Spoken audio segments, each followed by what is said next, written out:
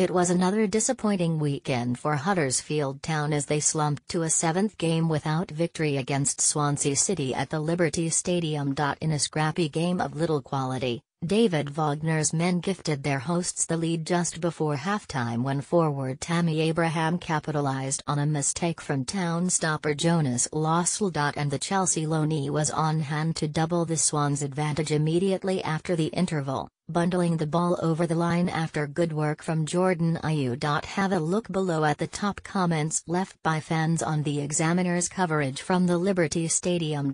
Chris, Dewsbury there were too many defensive errors and we allowed them too much space.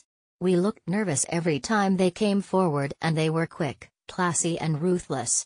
It's a big lesson with some tough games coming up. Dave. Holmfirth we haven't the quality to score goals but some fans need to get real as well. It will be a battle to stay up but it can be done, some need to stop moaning and enjoy the season because hardly anyone would have thought we would have got to the Premier League in the first place. Worst performance of the season so far, the defence was poor with no service to the lone striker of Laurent Depoitre. We need to get the ball forward quicker as well.